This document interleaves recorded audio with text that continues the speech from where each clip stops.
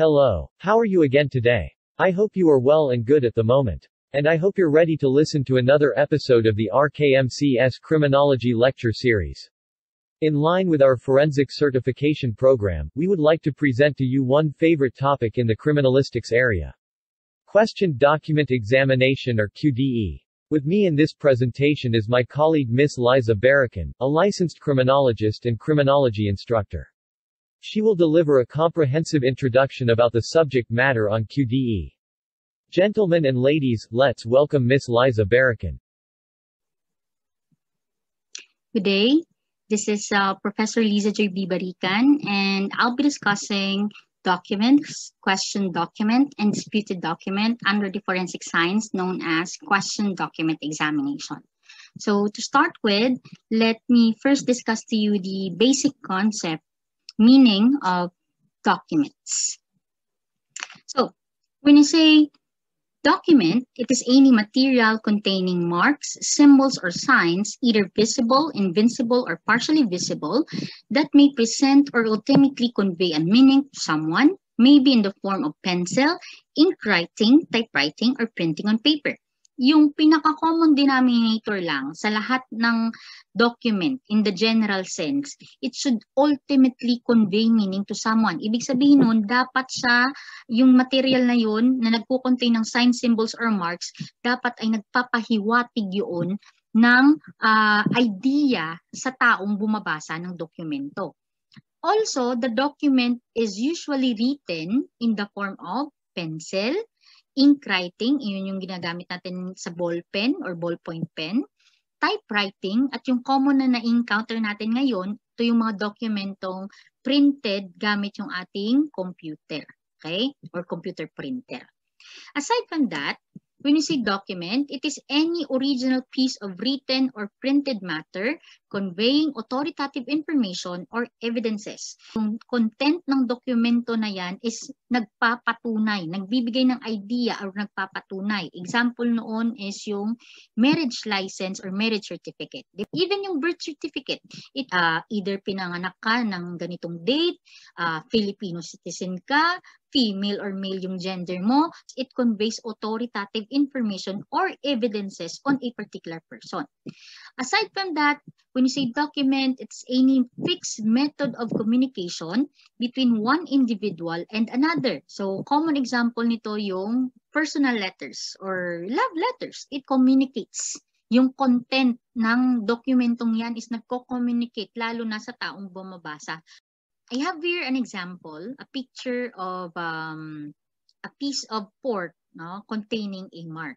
Now, using the definition, the general definition of a document is this piece or slab of pork containing um, a mark no, na coming siya from the uh, slaughterhouse. Is this considered as a document? Yung sagot, Yes po. Kasi yung piece of skin kung saan nakalagay yung marking niya is considered as any material. Di Pasok siya sa konsepto ng document. Second, does it conveys meaning to someone? Oo, kasi yung marking na nakalagay dyan sa skin ng pork na yan, nagpapahiwatig siya na itong karning ito is kinatay sa slaughterhouse kaya nga may tatak. Pero dito tayo medyo magkakadebatehan as to ito bang uh, piece of pork na ito is makukonsider na document on its legal basis? Yung sagot, hindi. Pag sinabi nating legal basis, ito yung mga definition ng documents na may ruling talaga sa court. Yung katanggap-tanggap talaga ng korte as to the concept of document. Unless itong piece of pork na to containing a mark, pinicturan mo at yung photograph, makukonsider na natin as a document on its legal basis. Another one, a wall containing graffiti. Ito ba ay makukonsider na document based on its general definition? Sagot, oo. Bakit? Kasi nga, yung wall mismo is considered as a material. Pero on the legal basis, hindi. Okay? Unless itong wall na to pinicturan mo at yung picture na yun, yung, yung pinisend sa court is a documentary evidence. Another one, take note of the etymology of the word document. So we have two, Latin and the French. So sa Latin, Uh, the word document is considered as documentum, which means lesson or example. While naman sa French, yung word referring to a document is known as dossier, which means to teach. Now, let's talk about the difference between question document and disputed document. When you say question document, it is any document about which some issue has been raised or which is under scrutiny. It is also a document or paper whose contents has been contested either in whole or in part as to their authenticity. Thus, if the origin of the document is unknown or its authenticity is in doubt, the article is considered as a question document. Disputed document, on the other hand, uh, suggests that there is an argument or controversy over the document. Now, what's the difference between the two? Commonly, in question document examination, question document and disputed document are interchangeably used. Ibig sabihin nun, medyo parehos yung meaning nila. Pero ano ba yung thin line na nagsiseparate sa question at sa disputed document? Simply, the word scrutiny. Pag sinabi natin scrutiny, it means under investigation yung document na yon or it is being examined. Yung question document kasi, ito yung mga document na may issue, may controversy, either yung kabuo ng kabuoang dokumento or yung part lang ng dokumento. Pag sinabi natin part lang ng dokumento yung kinukontest, ibig sabihin nun, possibly yung pirma doon, yung first paragraph lang. So, yun yung sinasabi natin na either the whole or the part of the document. Therefore, it is a question document. Pag sinabi naman natin disputed document, such document is may issue lang siya, may controversy lang siya, pero hindi siya ini-examine. A disputed document is therefore always a question document, while a question document is not always a disputed document. Lahat daw ng mga dokumentong may controversy, may issue, kinokontest as to its origin or veracity, lahat daw yan ay question document. Anong ginagawa natin? Ini-examine natin yan. Question document is not always a disputed document. Ibig sabihin nun, hindi naman lahat ng dokumento na ini-examine natin ay may controversy or may issue because of the concept of SOP or Standard Operating Procedure. Example, one, pumunta ka sa grocery store, bumili ka, nagbayad ka na sa cashier, ano yung usually na o-observe mo doon sa cashier pag natatanggap niya yung pera na inabot ng customer? Ini-examine niya, tinitingnan niya yung basic features ng pera. Yung pera is considered as a document, ah, yung Philippine bank note natin. So, ini-examine niya kahit wala pa siyang issue na nakikita doon or kahit na hindi siya nanghihinala sa'yo kung peke ba yun or hindi yung inabot mo na pera. Yun yung sinasabi natin na uh, a question document is not always a disputed document. Another example, okay? Nagpa-enroll ka. Uh, bago mo pirmahan yung COR mo or Certificate of Registration mo, anong ginagawa mo? 'Di ba tinitingnan mo muna? Sini-check mo muna kung yung mga mga subjects na nakalagay talaga doon is yun talaga yung kukunin mong subject or kung may conflict sa schedule na nakalagay sa sa COR mo. So, technically, hindi ka naman nagdududa kasi alam mo, nakita mo kung paano print yung dokumento. Alam mo na authorized yung nagprint noon.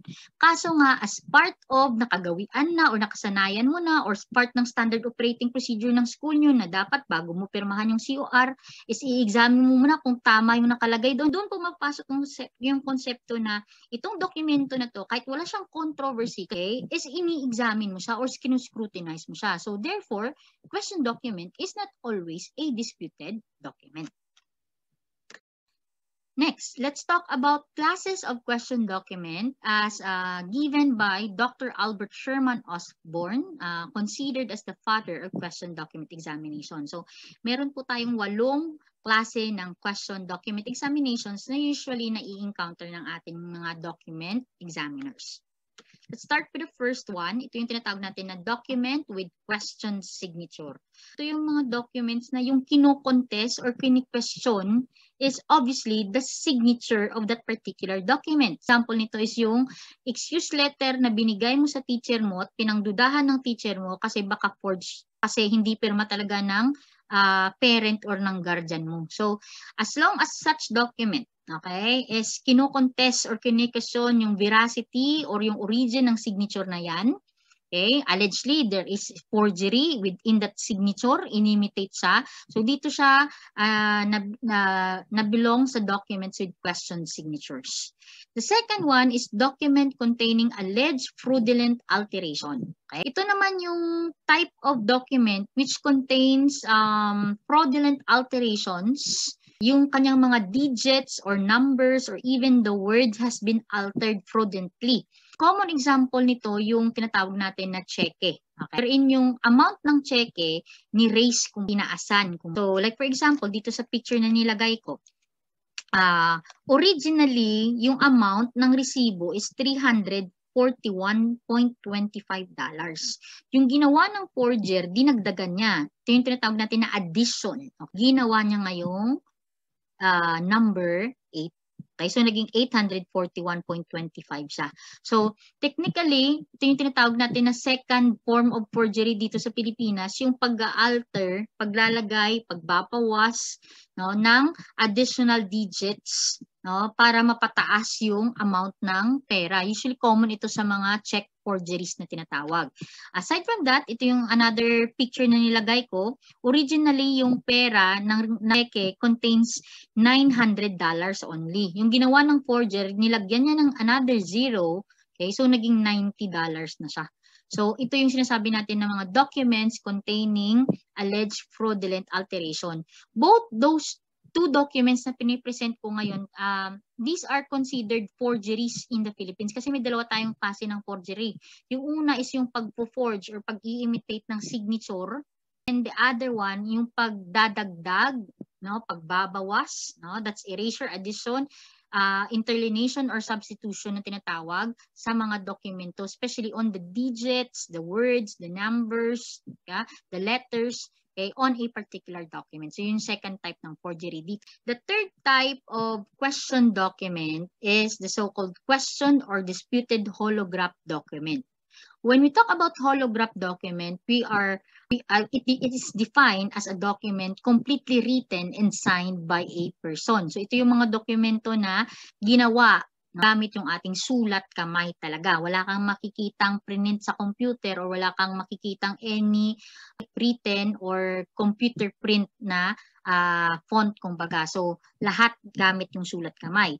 Bakit sa yung holograph document, bakit sa consider na question or disputed? Uh, take for example, pag yung uh, kabuuan ng dokumento question as kung sino uh, question kung totoo ba talagang sinulat ng taong nag-a-appear yung pangalan or pirma doon sa dokumento na yan. Uh, example nito yung tinatawag nating holographic will. Okay? Ito yung mga last will and testament na sinulat via sulat kamay. Okay? So, pwede siyang maging question document if i-contest natin as to talaga ba talaga bang uh, yung holographic will na yan, yung nagsulat niyan ay talagang bang yung yung talagang nagsulat?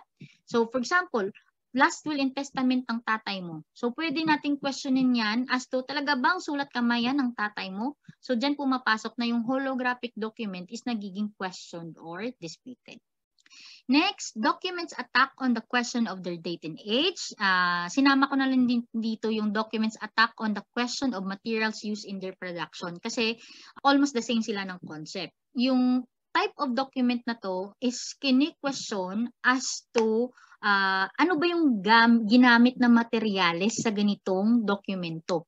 Ito bang dokumento na to na nagkukulay yellowish na or yung tinatawag natin na discoloration, talagang bang old document na talaga ito? Or is the date appearing on a document is synchronous with the age of a doc of that document kasi baka yung dokumento natin kulay yellowish na as in talagang sobrang tanda na pero yung date na nakalagay dun is to 2020. So parang hindi siya match kumbaga. So doon pumapasok na nagiging question document ang dokumentong sobrang tagal na na yung contents niya is questionable as to the date or mismo yung question is to the material that is being used in making that paper. Kasi uh, we have some uh, ways on how to make the paper look like an old paper. Gamit lang yung mga basic ingredients mo dan sa pantry mo or sa kitchen mo. Pwede mong gawing uh, yellowish yung papel na tinatawag na parang magmukha siyang sobrang tagal na talaga. There are some forgers na yun yung ginagawa para maging yellowish yung papel at para pag mukain na yung papel ay sobrang tagal na. Next, documents that identify identify the handwriter or the handwriting. Okay? Ito namang document na to is uh, nagiging question document siya in the sense that hindi natin alam kung sino talaga yung nagsulat. So, kailangan nating alamin as to who is the author of such handwriting or of such document. Common example dito yung tinatawag natin ng mga uh, letters, anonymous letters, or simply we call this as the poison pen letters. So, nilagay ko dito sa picture kasi common eh, no? Yung mga na, nasa salvage, talagay na pusher ako. Pwedeng ano, examinin ng document examiner para malaman kung kanino talagang handwriting na to. Mag, mag-i-establish siya ng certain connection on a particular person at yun yung in- investigahan niya. So, again, going back, you say question documents that identify the handwriting, inaalam natin kung sino yung author ng handwriting na to. That's why it's considered question document. Next, question document erroneously or prudently attacked. This type of question document naman uh, is being questioned as to the genuinity of the contents of that handwriting. Ibig sabihin nun, talaga namang original or genuine yung handwriting na yan. Kaso nga lang, siguro yung writer, nakalimutan niya na siya pala yung nagsulat or possibly uh, nag-undergo siya ng transitory changes during the time. Hindi niya na maalala. For example, lasing siya. Okay? Um, may pinirman siya or pag paglagay na natin, nagsulat siya, syempre nababago yung ano, nagkakaroon ng changes yung handwriting natin. Uh, nalimutan ng tao na siya pala yung nagpirma noon or nagsulat. So dininay niya or yung kanyang representatives or witnesses, no? Uh, dininay na hindi naman talaga sa kanya. So doon pumapasok na yung genuine signature or handwriting or document nagiging question document. Kung another one is documents to identify typewriting. Ang yung issue dito is to determine kung anong klaseng uh, typewriter yung ginamit? Pika ba, Elite ba, or yung IBM typewriter or electrical typewriter? As well as dito din tinatanong kung uh, nagiging question siya in the sense that uh, yung typewriter mayroong mga fraudulent changes, mayroong mga alterations kung uh, dito siya under the documents to identify the typewriter. Ito yung eight classes of question documents as um, discussed by Albert Sherman Osborne, the father of question document examination. Next, ano yung mga documentary evidences na tinatanggap ng korte based on the rulings? Okay, let's take the case of People versus Moreno. It's any written document by which a right is established or an obligation is extinguished. Example nito, uh, nang sinasabi nating document wherein there is a right that is established, one for that matter is yung land title. Nakalagay dyan kung sino yung may-ari ng lupa, gaano kalaki yung lupa. So, ito yung dokumento na nagpa nagpapakita that there is a right that is established. Another one, uh, it's a document when there is an obligation that is extinguished. Example nito yung tinatawag natin na deed of donation. Yung content niyan nakalagay na pinapasa mo, binibigay mo, kumbaga yung gamit na nasayo binibigay mo sa bagong may-ari, kumbaga, yung nakalagay na pangalan doon, ng pinasahan mo. So, tinatawag noon na document kasi nga, there is an obligation that is extinguished. Yung pag-mamay-ari mo ay binigay mo na sa ibang tao. Kumbaga. Second, in the case of people versus Niluskin, every deed or instrument executed by a person by which some disposition or agreement is proved, evidence, or set forth Okay. So ito namang number two, example of this document that is executed by a person wherein some disposition or agreement is proved, evidence or set forth. Example nito yung tinatag natin na contracts. One for that matter is the employment contract. May ini-establish na agreement between the employer and the employee. Okay?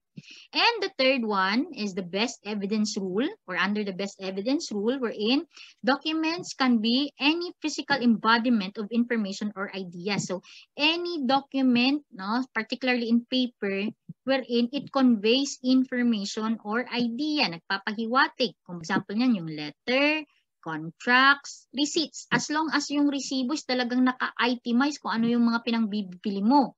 Book of accounts, a blur print, or yung tinatawag natin na photocopies, and an x-ray plate. Yun yung picture ng baga mo, kumbaga. Okay? So, ito yung mga legal basis of documents or documentary evidences na tinatanggap natin sa korte. Next, punta tayo sa kinds of documents. So, meron po tayong apat na kinds of documents, the public, the official, the private, and then the commercial documents. Let's talk first about the public document. When you say public document, it is a document which is notarized by a notary public or competent public official with solemnities required by the law. Okay? Ibig sabihin noon, ito yung mga dokumento na nanotaryuhan ng abogado. Therefore, yung content is made into public. So, public document. Example noon, yung tinatawag natin ng mga uh, decisions or resolutions, administrative orders, marriage contracts, out of office, affidavit of loss. Once na notarize yung affidavit of loss na yun, tinatawag na siyang public document. Another is official document. Okay? When you say official document, it is issued by the government or its agents or its officers having the authority to do so and the offices which in accordance with their creation, they are authorized to issue and be issued in the performance of their duties. Like for example, um, documents coming from PhilHealth, documents coming from GSIS, documents na inisyo ng uh, barangay nyo, like barangay clearance. So, makonsider siya as official documents. Even those documents issued by state colleges or universities is considered as under the government. So, pwedeng yung transcript of records ng, na issued ng isang state college or state university, consider siya as official document. Big note, all official documents are public documents, but not all public documents are official documents. Lahat ng official documents okay, is considered siya as public document. Pero, hindi lahat ng mga dokumentong issued by the government is a public document. Kasi nga, hindi naman lahat ng mga in-issue ng gobyerno natin is notarized. Like for example, yung barangay clearance or for example, NBI clearance or police clearance, official document yun. Pero hindi siya uh, public document in the sense that um, hindi naman lahat ng mga official documents ay na, na may notary. Okay? Next, private documents executed by a private person without the intervention of a notary public or of any person legally authorized by which document some disposition or agreement is proved, evidence, or set forth wala siyang halong notarization. So like for example, yung affidavit of loss, if galing iyon sa school nyo kasi nga nawala yung ID mo, magpa-process ka ngayon. Pero um, habang hindi pa siya notarized, so private document lang yon. Once na nanotaryuhan na yon, yung private document na yun magiging public document. Na. Example ng private document, again, unauthorized deeds, letters, private receipts, class cards, time records in private employment, vouchers of business people. Commercial documents naman are executed in accordance with the Code of Commerce or any mercantile law containing disposition of commercial rights or obligations. So example noon, yung mga commercial checks natin, yung mga um, cheque galing sa bangko as commercial checks, sales receipts, trust receipts, deposits and withdrawal slips, passbooks, as long as it's related to commerce, finances, money, pwede siyang i-consider natin under commercial document. A private document may become a public or official document when it partakes the nature of a public or official record. Yung private document na hawak mo, pwede siyang maging public or official document pag sinama natin doon sa public or official document. Example, um, magpa-process ka ng iyong PhilHealth uh, benefits. Uh, so yung ginawa mo, uh, nagpa-consulta ka for example sa isang private hospital, uh, uh, yung documents na inisyu sa iyo ng private uh, hospital, isinama mo ngayon doon sa PhilHealth forms no na kakailanganin mo for your benefits. So, yung private document na yun, like for example, um, uh, description galing sa doctor mo, sinama mo doon sa PhilHealth form which is considered as an official document. Kasi technically, yung uh, ating prescription galing sa isang private hospital is considered na siya as a public or official document. If the falsification committed on such document that is when it's already a part of the public record, falsification of public or official document is committed. Yung nature ng private document mo has partake na the nature of your official document, which is the PhilHealth forms, kumbaga. However, if such private document is intended to become a part of the public record, even though falsified prior thereto, falsification of a public document is committed. What do you mean by that? Kung yung private document mo is pra, uh, previously finorged na siya or finalsify na siya, pineke na siya rather, okay? Uh, at yung nangyari is, naisama siya sa public document no? or sa official document man yan. At nalaman na lang natin during the time na napasama na pala siya sa, sa public document or official document. Yung kaso natin pa rin will be falsification of a public document. Okay? And lastly, here are the writings that does not constitute as a document. Ito for that matter is a draft of a municipal payroll. Especially if that list of payroll, yung list ng mga names nakalagay kung ano, kung ano yung amount ng sasahurin nila, was not yet signed by an authorized person, hindi siya constituted as a document. Another is a mere blank form of official document wala pa talagang na-encode or wala pa talagang laman yung dokumento na yan. Um, official document. Example, yung barangay clearance na form or template pa lang, wala pang nakalagay na pangalan or address ng residente. That's uh, that's a writing which does not constitute as a document. And lastly, pamphlets or books which do not evidence any disposition or agreement are not documents but mere merchandise. Kung itong mga brochures or pamphlets or libro na walang agreement, no? walang evidence of um, contract or disposition from the publisher itself. Therefore, it's not a document but a mere merchandise. Okay? So, hopefully may natutunan kayo sa aking uh, lecture on documents, questioned and disputed documents. And um, hopefully see you soon. Thank you very much. That ends the presentation. Thank you all. Thank you Liza for such a wonderful discussion. We hope that you learned something from her lecture on QDE introduction. Please click the subscribe button or share this video to friends. You will be notified for incoming educational videos. Contact us for your online review at 092989951994. Visit also our www.criminologysolutions.com.